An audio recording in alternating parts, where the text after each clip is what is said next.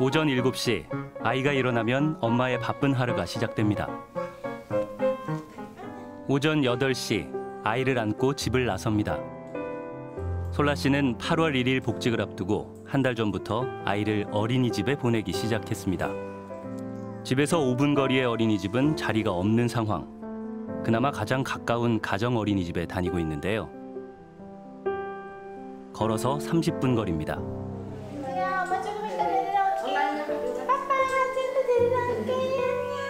지난주까지는 울었는데 어제부터 이제 들어갈 때 안 울더라고요. 어린이집 문 닫을 때도 우는 소리가 계속 들려가지고 이 경비 아저씨가 위로해 주신 적도 있거든요. 지금도 좀 그때 생각하면 좀 마음이 아픈 것 같아요.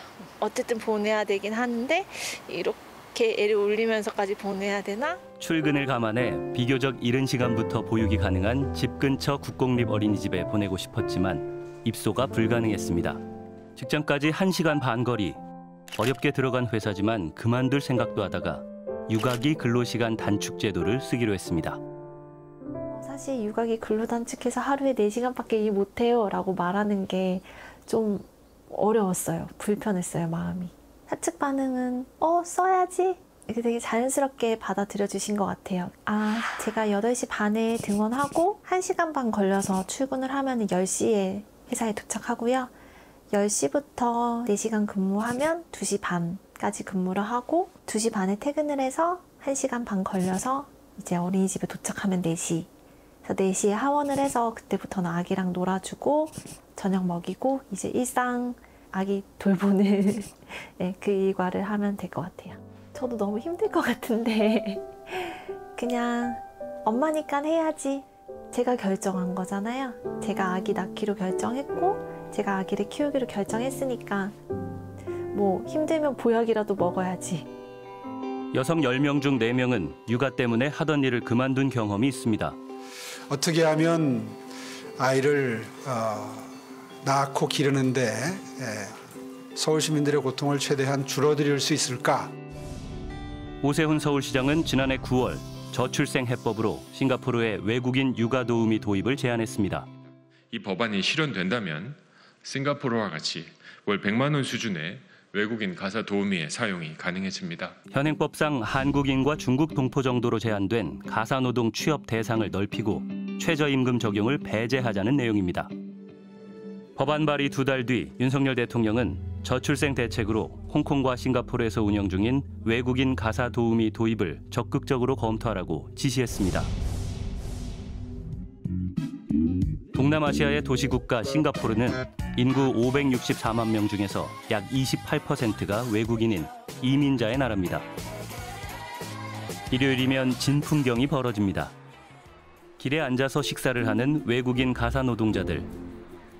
물가가 비싸서 매번 카페나 음식점에 갈 수 없으니 그늘에 돗자리를 깔고 앉아 시간을 보내는 겁니다. They work as domestic workers. Yes. Most of them. Yeah. 왜, 왜 여기로 많이? How old are you and where are you from? Yeah. 43. I'm 43 from Philippines. How long have you been working here? Eight years. Here, there's uh, you can earn uh, a bit of money, much more in Philippines. Yeah. Yeah. For me, my salary is uh, $800. Last time when I was in Philippines working in uh, construction company, I, I earn only like half of my salary in 싱가포르에서는 기본적으로 외국인 가사 노동자가 가정에 입주해 생활합니다. 30대 맞벌이 부부의 집. 필리핀 출신의 가사 노동자 마릴린 씨는 둘째 아이가 태어났을 때부터 6개월 된 지금까지 양육을 책임지고 있습니다. 집안일과 육아를 전담해주는 가사 노동자는 이 부부에게 없어서는 안 될 존재라고 합니다. In our main living space, we just have one CCTV there. So this one, uh, from this angle, you can see the whole house because it's quite not a big house. And also when we got the helper, also to just and the babies, you know, just to spot check at home like what's happening in Yeah. case we need to see. 아이를 키우는 일을 맡기다 보니 싱가포르에서는 집에 CCTV를 설치하고 수시로 확인하는 게 일반적입니다. 부부는 마릴린 씨의 동의를 얻어 세 곳에 CCTV를 설치했습니다. 싱가포르 정부는 외국인 가사 노동자를 고용한 가정에 관리 책임을 부여하고 있습니다. 고용주는 외국인 가사 노동자가 거주할 별도의 방을 제공해야 합니다. 이 정도면은 한 한국의 고시원 정도 크기 되는 것 같네요. 소개업소 수수료와 건강보험료, 급여와 식비를 다 합치면 1년에 약 1,358만 원이 듭니다. 외국인 가사 노동자의 평균 급여는 싱가포르인의 8분의 1 수준. 임금이 낮은 이유는 싱가포르의 최저임금 제도가 없기 때문입니다. However, uh, so the, the whole uh, salary uh, practices in Singapore is based on market forces. The salary of most domestic workers who work here in Singapore for the first time, the salary is between uh, 500 to about $600. 소개업소는 가사 노동자의 본국에서 제시하는 임금 권고 수준을 바탕으로 급여를 결정합니다. 싱가포르의 주변국 중에서도 영어를 공용어로 쓰는 필리핀 사람들의 임금이 가장 높다고 합니다. 싱가포르에서 외국인 가사 노동자로 일하기 위해선 23세에서 50세 사이의 여성이어야 하고 8년 이상의 교육 과정을 마쳐야 합니다. 우리나라의 경우 언어 장벽이 큰 문제입니다. What time do you work? Six o'clock. Uh, you wake up at 6 o'clock and when you sleep? Sleep ten o'clock. 10 o'clock? 6 a.m. to 10 p.m.? Yes. 부엌 옆에 조그맣게 이렇게 공간 팔 뻗었을 때 다 닿는 크기긴 하네요. Salary is around 600 plus Sing dollars. And uh, she has got a one day off per month. 싱가포르에서 외국인 가사 노동자에 대한 인권 침해는 심각한 사회 문제로 제기된 지 오래입니다.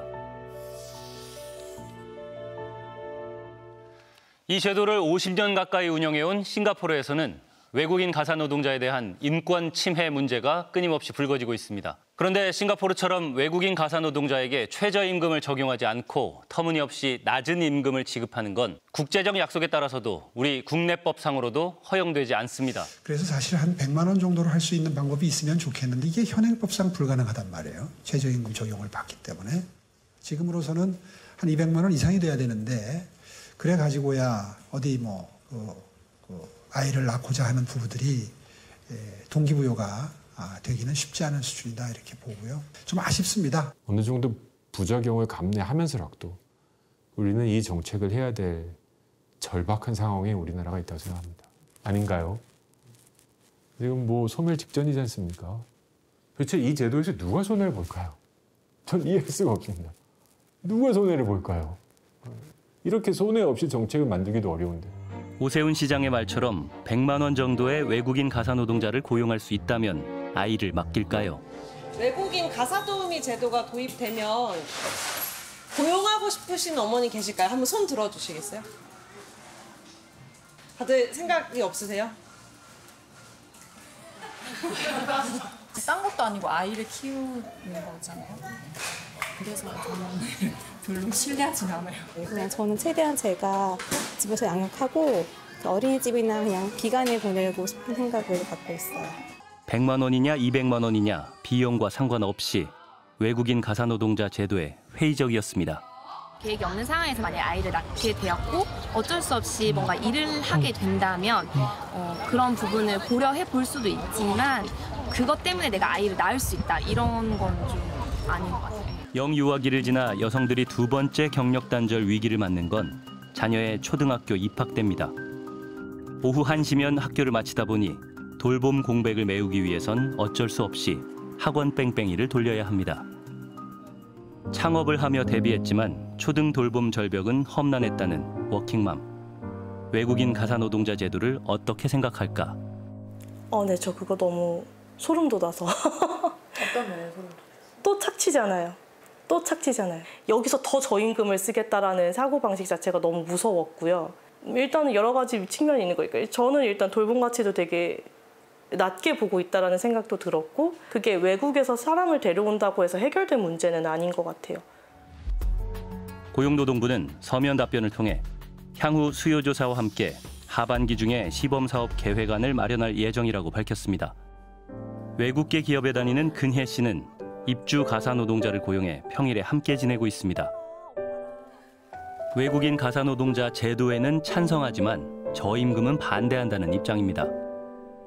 그로 인한 부작용이 걱정되기 때문입니다. 타지에 와서 또 생활을 하는 생활비도 있을 것 같고 그러면 또 너무 싱가포르와 동일한 기준으로 보는 건 어렵지 않을까 만약에 어, babysitting 업무만 너무 싼 가격에 저희가 공급을 받을 수 있는 경우에는 그분들이 한국에 그러니까 babysitting을 하기, 오, 하기 위해서 오셨다가 다른 job을 찾아서 가시는 리스크도 있긴 할 것 같아요. 네. 원래 개작했던 시장에서 이탈하기 굉장히 좋은 시장이고요. 어, 그리고 근로자들의 인권도 보호하기가 굉장히 힘든 시장이에요. 준비를 많이 해야 될 시장이에요, 이거는. 그러니까 홍콩이나 싱가포르는 이게 자연적으로 생겼던 문화였기 때문에 가는 거예요. 우리는 지금 새롭게 시작을 하려는 거잖아요. 어, 당국이 책임져야 될 건 굉장히 많아요. 어느 어느 부처에서도 거기에 대해서 준비를 한 적이 없어요. 그렇게 튀어나오는 정책이 어디 있어요? 그런데 그 무엇보다 중요한 사실은 과연 외국인 가사노동자 제도가 싱가포르의 저출생 문제 해결에 도움이 됐느냐일 겁니다.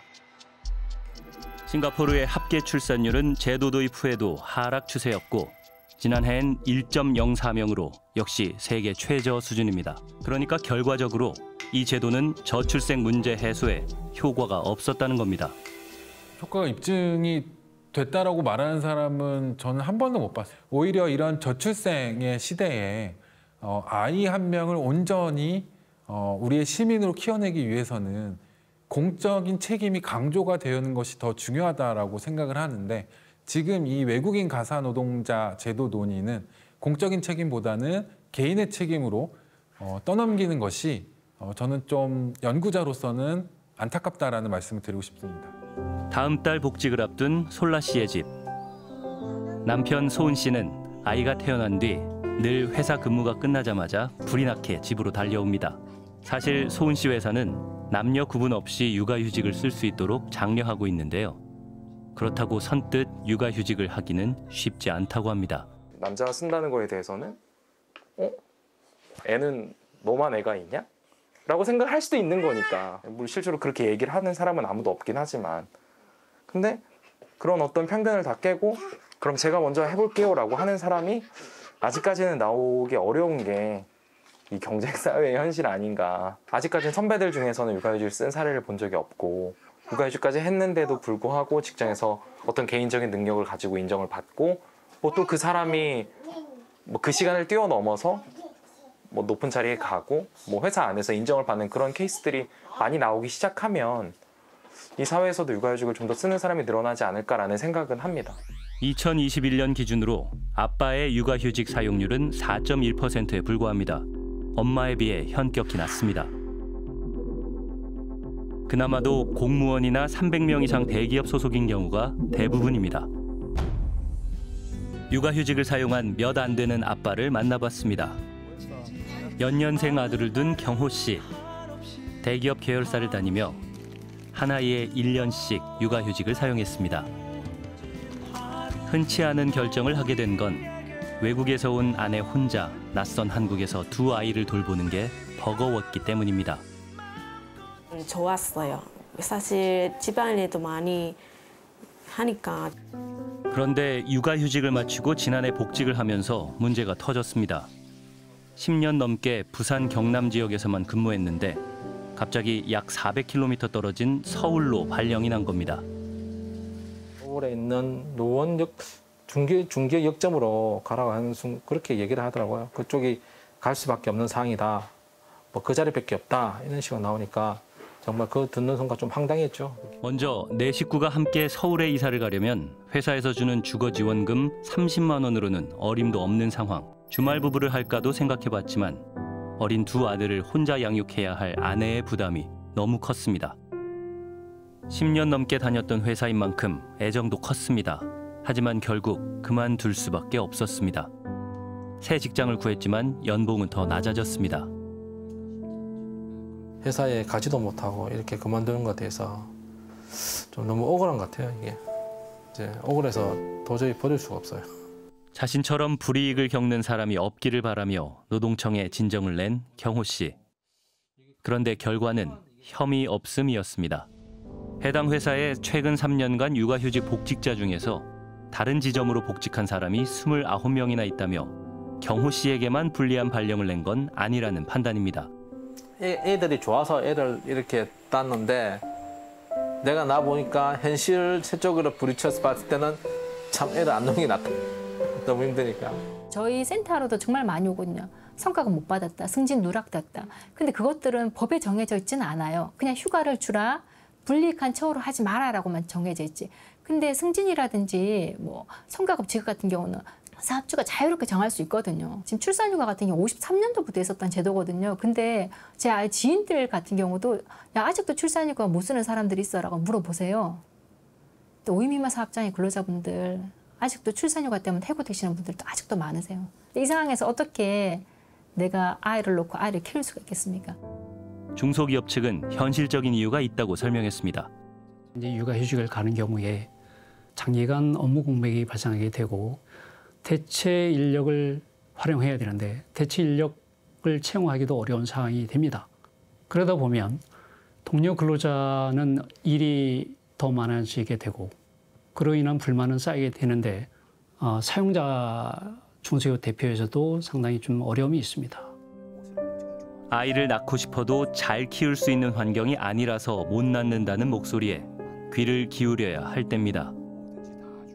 지금 계기판에는 여러 지금 신호, 지금 이 자동차가 주행이 제대로 안 되고 있다는 문제 신호가 지금 여러 개가 다 뜨고 있는데 계속 연료만 들이붓고 있는 상황이 아닌가. 양육비에만 포커스를 맞추는 건 꼭 그런 상황이 아닌가 싶습니다. 둘째를 지금 낳, 낳아서 키우고 싶거든요. 그런데도 불구하고 계속 망설이는 이유가 아이를 낳아서 부모의 손으로 잘 키울 수 있는 그런 여건이 잘 마련이 되지 않았다는 느낌을 많이 받는 상황입니다. 환경은 제대로 만들어지지 않았는데 낳으라고만 강요를 하면 누가 많이 낳겠습니까?